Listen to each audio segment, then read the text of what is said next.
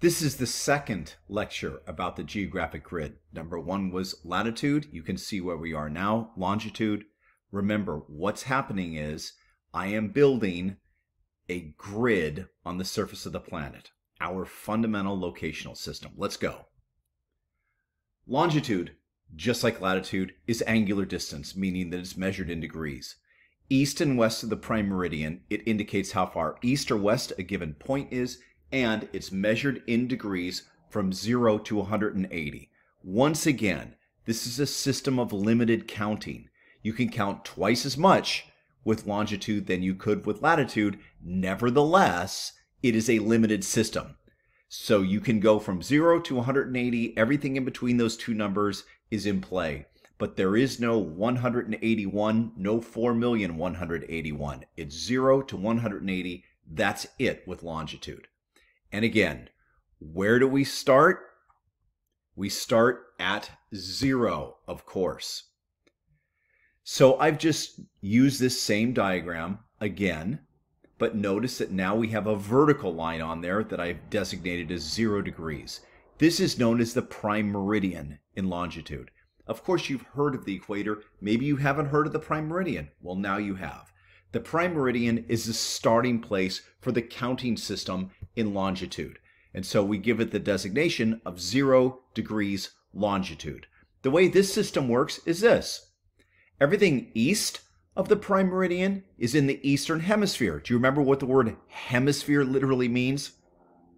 Half of a sphere. Very good. And everything west of the prime meridian is in the western hemisphere, the western half. Let's take a look at this map again. Once again, you can see the equator going through the middle, but now we have another line that's cutting vertically across it. And you can see the grid is beginning to be built just by the virtue of the fact that the prime meridian is on there. So the prime meridian, that vertical line, is zero degrees longitude. Everything east of the prime meridian, again, is in the eastern hemisphere. You can look and see some countries like Mongolia, China, India, Australia, they're all in the eastern hemisphere. Everything west of the prime meridian is in the western hemisphere. You can see countries like Canada, Mexico, Brazil. All of those are in the western hemisphere. Can you see that? Just making sure you can see it. Let's practice latitude and longitude a little, shall we? When you are using latitude and longitude, both of them, so the geographic grid in other words, always give latitude first. Always give longitude second. It is never the opposite way. In other words, there is no place that is at 30 degrees east and 78 degrees north. I even have problems saying it because it's backwards. There is no place like that. Because latitude always has to be first Longitude always comes second. By doing this, everybody on the planet is on the same page. Everybody recognizes the place we are talking about.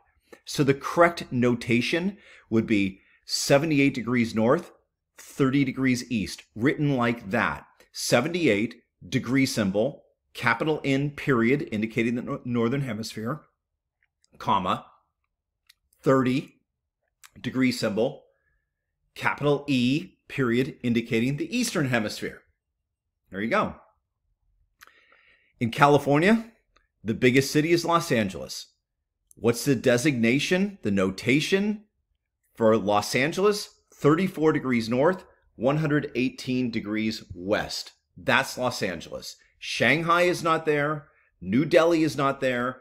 Cairo is not there. Mexico City is not there. Los Angeles is there. And so by using this system, you are specifying where a place is and really through international agreement.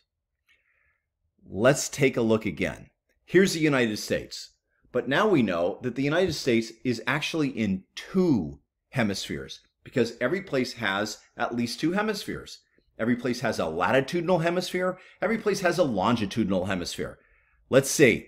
The United States is in what two hemispheres? First of all, remember which one comes first? Latitude comes first. The northern hemisphere and the western hemisphere. Excellent. What about Argentina? We met Argentina before. Argentina is in the southern hemisphere and the western hemisphere. Iran, are you catching on in the game now? Northern Hemisphere and Eastern Hemisphere. Excellent. Do you remember what that last country was? I do. Botswana. What two hemispheres do we find Botswana in? Botswana is in the Southern Hemisphere and Eastern Hemisphere. Excellent. I hope that's what you said. Here again is the prime meridian. Now I have put lots of lines of longitude on this map. But of course, the technical scientific name for them is not going to be lines of longitude. The technical scientific name is meridians. That's what we call all lines of longitude. You can say line of longitude or lines of longitude, but the technical scientific name is meridians. And meridians are half circles, like half of a circle, 180 degrees. Remember we had this? Half circles drawn from pole to pole that connect points of equal longitude. Half circles drawn from pole to pole that connect points of equal longitude. That means all meridians converge at the poles. Take a look. See how they're all converging at the poles? They all come up and then they all converge at the poles. Because they're converging at the poles, see that? How they're converging at the poles? Because they are converging at the poles, they're not parallel to each other. If you're at the equator and you begin to go into the northern hemisphere and you're following two lines of, of longitude, they're going to get closer and closer and closer and closer until eventually all 360 degrees of longitude, 180 degrees in the western hemisphere and 180 degrees in the eastern hemisphere, all converge at the North Pole and at the South Pole. So we cannot say that one degree of longitude every place on Earth equals 69 miles.